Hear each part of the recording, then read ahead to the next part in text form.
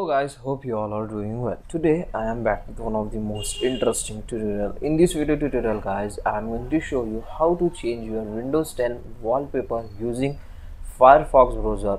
So for this guys first of all you need to open firefox browser on your windows 10 after opening just access the wallpaper which you want to set on your windows 10 so for example i want to set this wallpaper on my windows 10 so just open the image and right click on your image like this and here you can get one option set as desktop background. Just click on it and here you can get this type of interface and you, you can also adjust the position of your wallpaper and after this guys just click on set desktop background. That's it suddenly your wallpaper was changed on your windows 10 as you can see.